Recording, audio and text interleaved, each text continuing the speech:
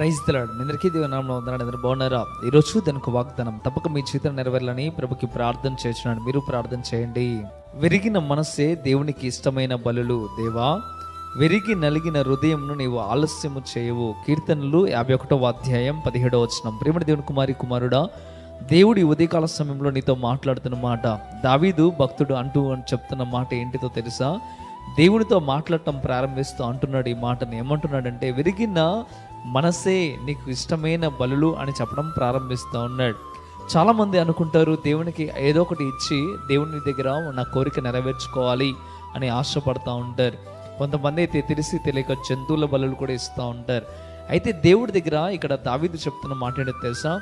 నీకు ఇష్టమైన బలి ఏంటంటే వెరిగి నలిగిన హృదయమే అని చెప్పడం ప్రారంభిస్తూ ఉన్నాడు.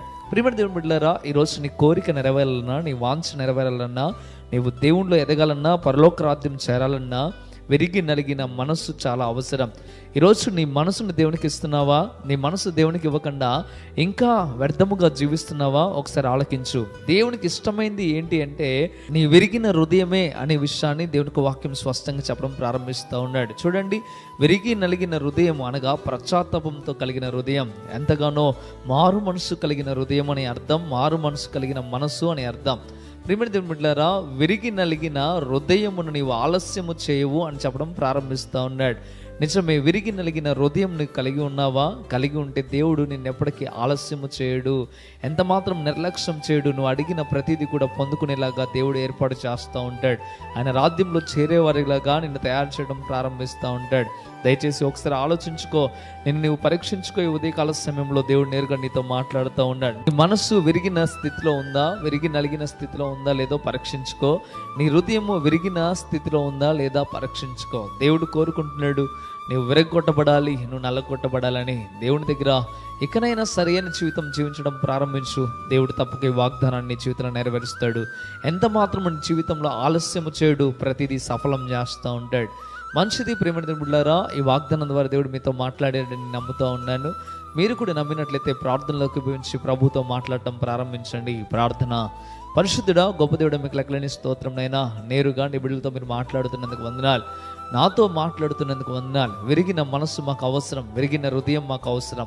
అయ్యా ఈరోజు నీ బిడ్డలముగా మేము ఉండాలి అన్నా మీరు మమ్మల్ని ఇష్టపడాలి అన్నా మాకు ఇలాంటి మనసు ఇలాంటి హృదయం మాకు అవసరం మీరు చెప్తా ఉన్నారు. తప్పక నీ బిడ్డలందరూ అలాగే జీవించుటకు సహాయం దయచేయండి. ఎవరైతే విరిగిన నలిగిన హృదయం కలిగి మనస్సు కలిగి జీవిస్తారో వారిని ఎప్పటికీ నేను ఆలస్యం చేయనని మీరు చెప్పడం ప్రారంభిస్తూ ఉన్నారు. నిబిడుల జీవితంలో గొప్ప కార్యములు ఎందుకు జరగట్లేదో మీరు చెప్తా ఉన్నారు. విరిగి నలిగిన మనసు లేకపోవటమే.